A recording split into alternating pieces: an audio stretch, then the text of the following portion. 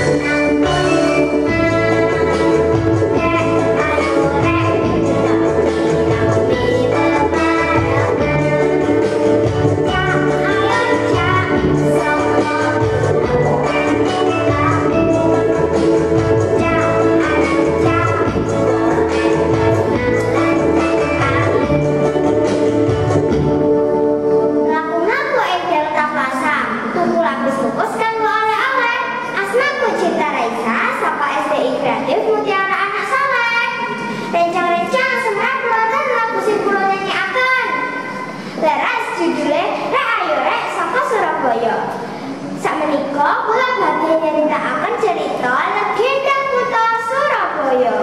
Zaman biyen ing lautan sering kejadian tukaran antarane iwak hiu sura lan boyo. Kabeh kuwi tukaran nyerebutna manungsa. Kalorone padha-padha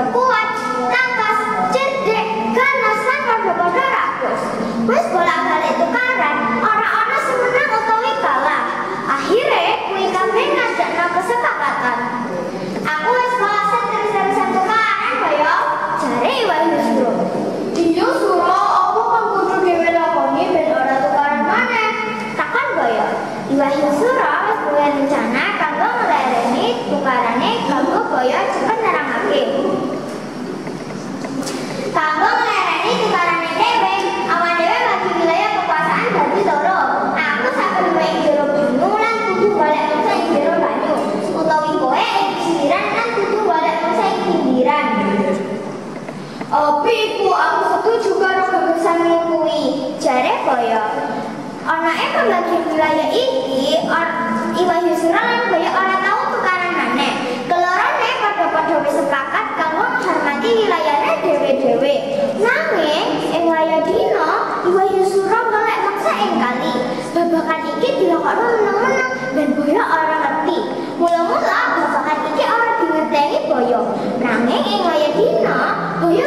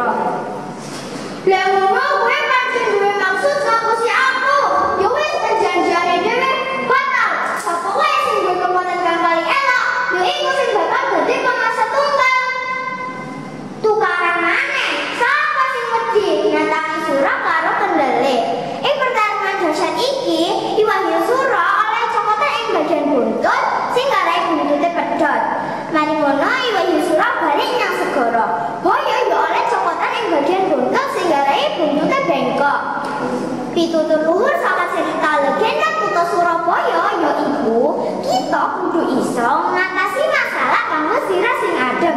Musuhan orang bakal bisa ngerangkumake masalah sing ono Cekap semanten cerita saking pulau puasa